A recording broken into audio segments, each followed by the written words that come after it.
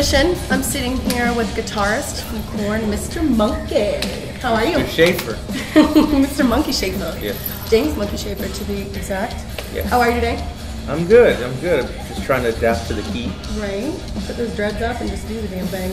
Yeah, I mean, it's, it's cool. Well, first off, congratulations on the 10th studio album, Path of Totality, Thank you. um, and the countless awards you guys have won, including Best Album um, in Revolver's 100th I know. That's, amazing. it was pretty cool to get, you know, sort of recognized for trying to innovate and do something new. Absolutely new endeavors. Perfect. Well, um, you collaborated with a plethora of producers for this album. Yes. What was that whole experience like?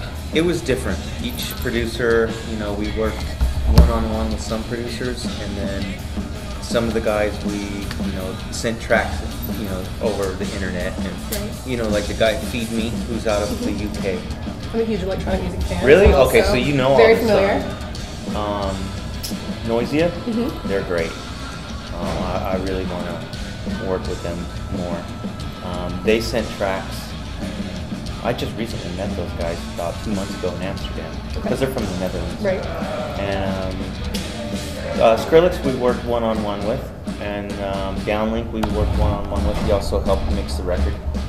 Um, so it was just kind of mixed up, and the guys who couldn't be there physically, you know, we, we would send tra- we would send the, the tracks back that we worked on, and then they would kind of like work around them and correct them and take out what they didn't like and send us back other stuff that they did like and, and make notes and talk to them on the phone. But it was kind of different experience for us, especially from the, the last record we made, which was the five of us, you know, in a little tiny room, Right. you know, jamming and it much different. Now, which is good because, you know, it's to keep things fresh and keep things you know, it just it keeps you on top of your game, and then it's just, you know, it's, it's all challenging yourself and, and challenging what you do. Always promotes an inner growth of creativity that sort of just continues. And I think if you're not growing musically or with whatever you do, uh, what's the point?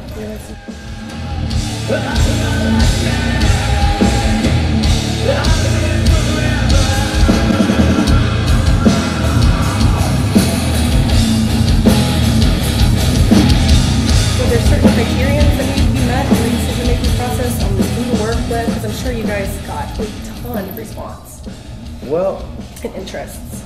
There was, you know, basically, you know, we started with Skrillex. We did this song "Get Up," and that sort of, that was, we were going to do that with, um, you know, just be an EP. We were going to do three or four songs, Oh, okay. but that whole experience was really, went really well, and everybody liked the tracks.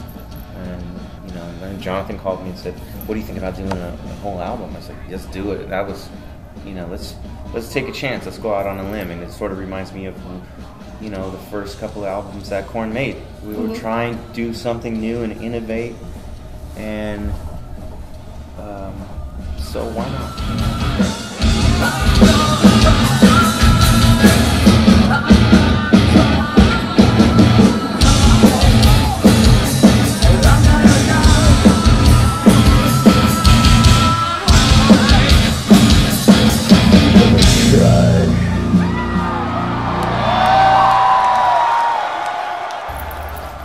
With this new sound, the new endeavor you guys are embarking on, how do you feel your old school fans are going to react to it? Do you are you afraid at all that you may alienate some of them?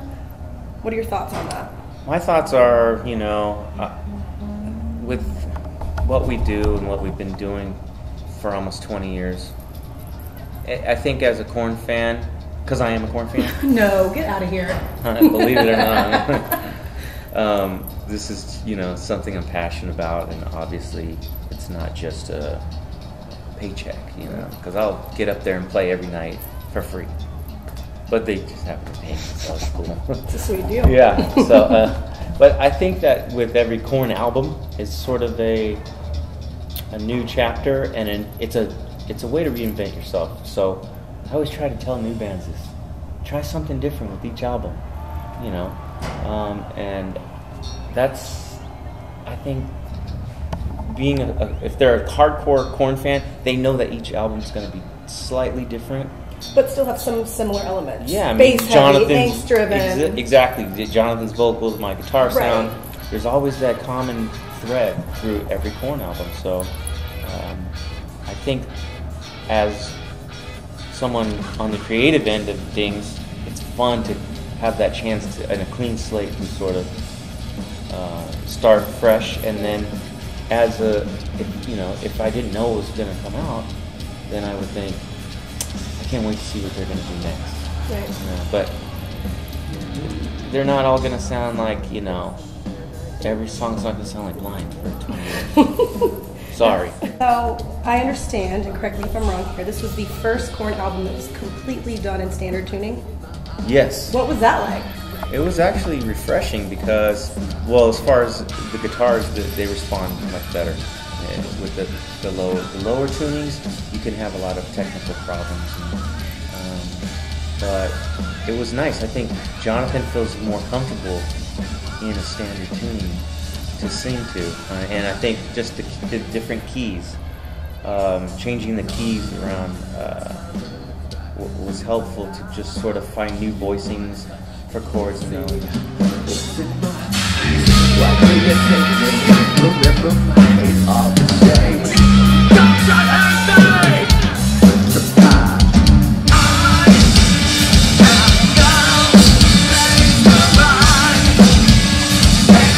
I read somewhere that Davis uh, declared this kind of the future of metal sound. Um, what are your thoughts on that statement? Um, do you think this is where the new metal is heading? Um, I think that the elements that we've sort of exercised in this recording and the techniques that we have been shown by a lot of these dubstep producers, we're going to use because a lot of them are tricks that um, people should use in recordings because they get the cleanest, heaviest bass sounds. And I think as far as techniques, mm-hmm. this stuff is the future. Okay. And I'm not saying music note selections, mm-hmm. you know, because that's to whoever the creator is. It's like telling an artist what colors to paint with Right. you know. But it's basically changing the brushes, you know, like mm-hmm. these are the new brushes, and they'll make your your painting look great, you know. So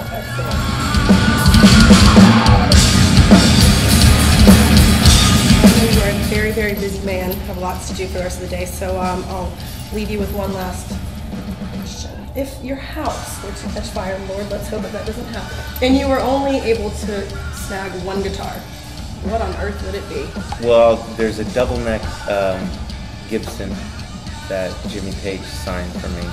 So I met him in London, and he came and watched the Korn show. One of our old tour managers was friends with him, and came and watched uh, us play after the show. And my tour manager said, "Don't whatever you do, don't ask him to sign shit. Like just tell you know, just, be cool, don't. just Just be be cool." cool. He'll probably take some pictures with you, but Right. don't ask him to sign anything because people like to go and sell whatever he signs on eBay Right. and I, I, I, I happen to have that guitar with me, and I, you know, it's a, it's a, it's a, it's an original. It's a Gibson. I don't think it's a vintage Gibson. It's, but um, But he, he signed the back of it, the back of the headstock. You did it anyway, and you got that signature. And I got it, and you know, I promised him that I would never sell the guitar. you have like a written contract or anything before you took off? No, Okay. just my word. Right. It's as good as a written contract. Well, thank you very, very much for All right. taking the time out to talk to us. It was a Cool, good show. We'll see you later. All right.